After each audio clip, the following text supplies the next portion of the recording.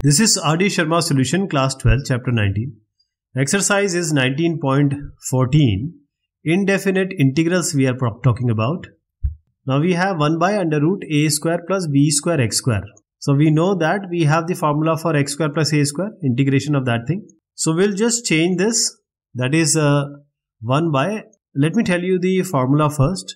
1 by under root x square plus a square, you can directly write it as a formula in terms of the log. So log modulus of x plus under root x square plus a square.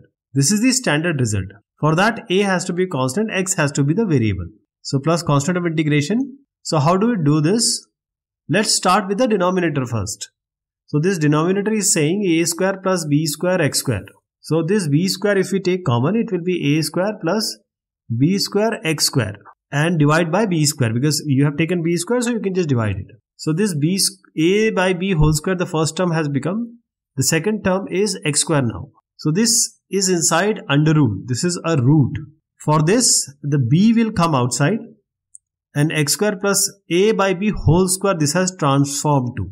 We will do the integration now and remember this was the denominator so let me put a 1 here only and this will be 1 by b.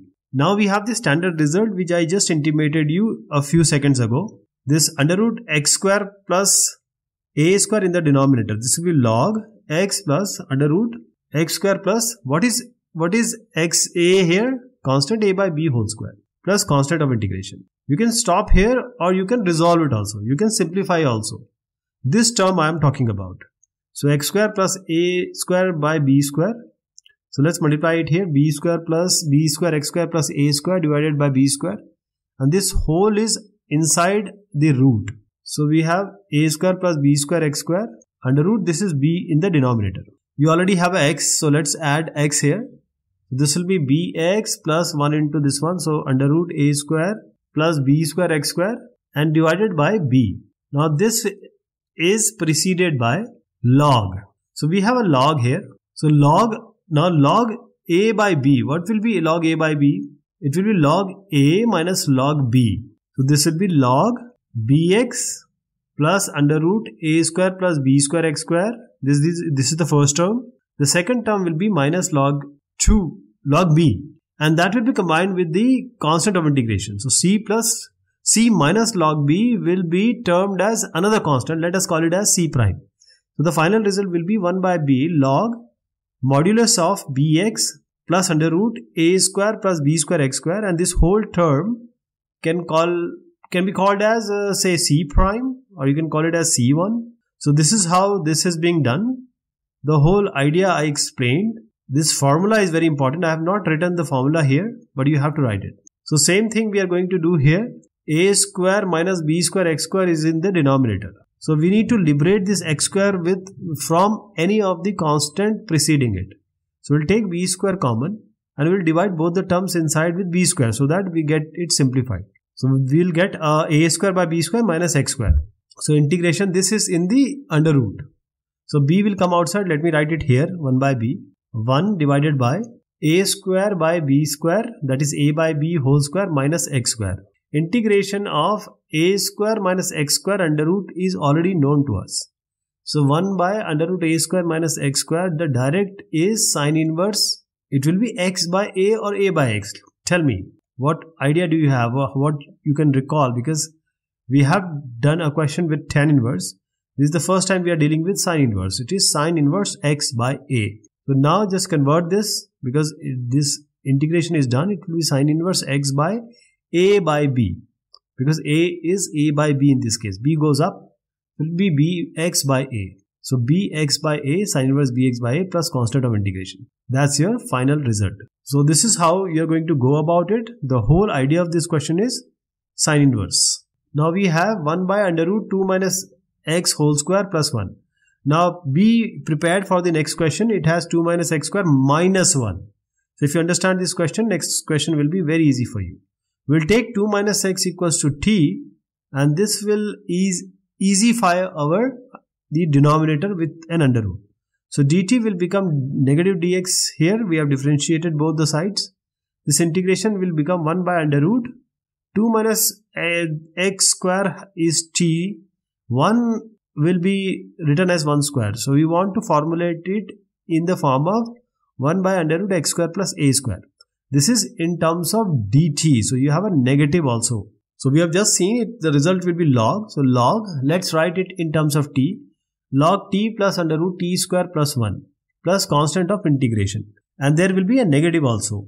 In place of t, now replace it by 2 minus x. So minus log, I am writing 2 minus x in place of t plus under root 2 minus x whole square plus 1 plus constant of integration. Now you will ask a question whether we have to simplify this 2 minus x whole square plus 1 or not. So we can simplify it a minus b whole square we can open it add it with 1 and write it. But since the question is already in 2 minus x whole square form we don't need to change it. That's why we will keep it like that right now. So this is the result I was talking about. 2 minus x equals to t will immensely simplify the approach. Our under root is x square plus a square will be log x plus under root x square plus a square. That will be the final result. And we do have a negative here. So as I was suggesting, almost similar, same question. You have to apply the formula of integration of 1 by under root x square minus a square. So how we are going to do it? It's in front of you. You can just uh, use this and solve it. You have the 2 minus x equals to t and other thing will remain the same. Log x plus under root x square minus a square. X raised 4 plus 1 by x square plus 1 dx. We will try to cancel this x square plus 1 if possible. For that we need a squared minus b squared formula. For that we have x raised 4 in the numerator we can write it like this x raised 4 minus 1 and we have to add 1 also because 1 is already there so it becomes 2 now so we will separate them out x raised 4 minus 1 this is the first term we are talking about and 1 plus 1 is 2 now the x x raised 4 will be written as x square to the power square minus 1 square so it will be a square minus b square a will be x square b will be 1 so a square minus b square formula is a minus b into a plus b in this case, you will take a as x square, b as 1. So x square minus 1 into x square plus 1, this will be. And then you have a 2 also. Denominator, you have x square plus 1. So x square plus 1, you can write it here now. Now, what is the benefit of doing all this? x square plus 1 will get cancelled from the first term. So, we'll integrate all the three terms. x square is the first term.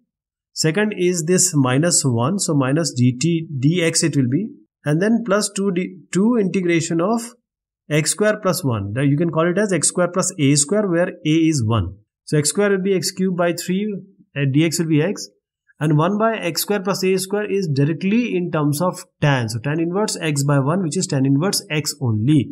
So that's your final result. Okay this is the way you are going to do about it. Just write the sentences also also. Like we have taken this we have taken that. That is very important in solving the questions.